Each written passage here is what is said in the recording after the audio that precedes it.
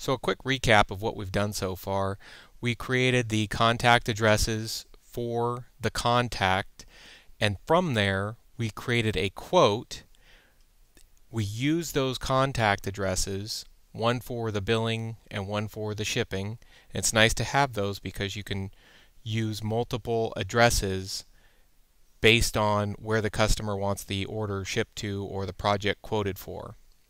Then we converted that quote into a sales order, which we see here. From there, we created a shipment, which you would see over here. And you see we also created a purchase order against this. So now we're ready to bill this order.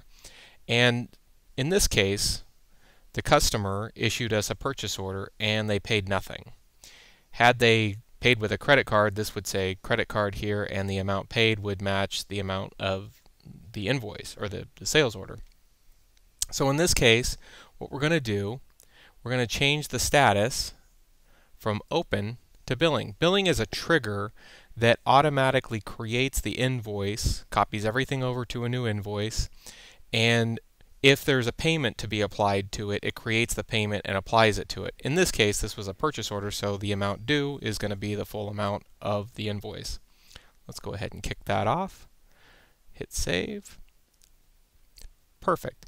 You'll see immediately it turns it to closed. That's because it went ahead and created an invoice against this sales order.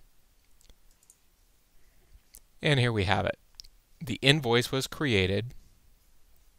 If we go check on this invoice, you'll see, just as you would hope, the billing information is correct. The shipping information that was shipped to is correct. The customers received a nice PDF email copy of that invoice. So to take a look at the invoice PDF that the customer would have received, we come over here and we go Preview PDF. As mentioned before, you can change the logo and any of the text here by simply using the WYSIWYG editor for our PDF template tool.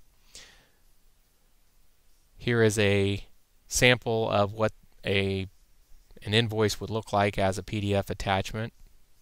References their purchase order, their purchase order number, the items that were included in this order, tracking information. If there were multiple shipments, they would be listed out here with the shipping method. It also shows the, the subtotal of the order, tax, shipping, any discount that was provided with a new total, and then any amount received, and the final balance due. So this one has a balance due. So this looks really good. The customer is going to be impressed. We efficiently processed their quote, turned it into an order, got the purchase order for a supplier to drop ship some product to them, and then we turned around and efficiently emailed them a nice PDF invoice from which they can pay. Without diving into it at this point, it's important to note that for this account, it, the user is able to go in and set up the accounts payable contact for this account. So that means that if they have a special email address they like to see the invoices sent to, it will send not only to this contact, but it will send to the accounts payable contact for the account.